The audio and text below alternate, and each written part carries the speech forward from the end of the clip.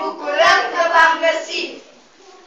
Deci chiar așa cum s-a vestit, un înger de lumină a venit. Pe când stăteam în câmp la orz, el ne-a vestit cu drag de voi. La început,